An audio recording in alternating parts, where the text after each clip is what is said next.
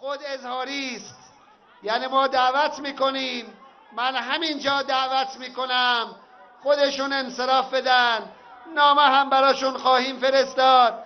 که شما لطف کنید انصراف بدید اجازه بدید این پول توضیح بشود. در طبقات درآمدی پایینتر.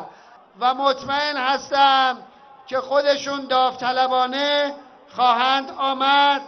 نام نویسی می‌کنند و اجازه میدن که دولت این یارانه ها را بهتر عادلانه تر و به کسانی که باید برسد خواهد رساند.